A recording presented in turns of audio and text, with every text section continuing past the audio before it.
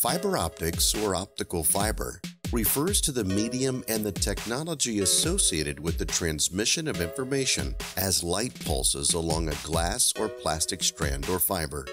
Fiber optic lines are strands of optically pure glass, as thin as a human hair, that carry digital information over long distances. They are also used in medical imaging and mechanical engineering inspection. They are arranged in bundles called optical cables and used to transmit light signals over long distances.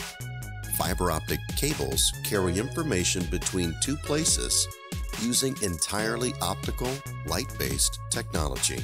Fiber optics transmit data in the form of light particles, or photons, that pulse through a fiber optic cable. The glass fiber core and the cladding each have a different refractive index, that bends incoming light in a certain angle. When light signals are sent through the fiber optic cable, they reflect off the core and cladding in a series of zigzag bounces, adhering to a process called total internal reflection. The simplest type of optical fiber is called single mode. Single mode fiber is used for longer distances due to the smaller diameter of the glass fiber core which lessens the possibility for attenuation, the reduction in signal strength.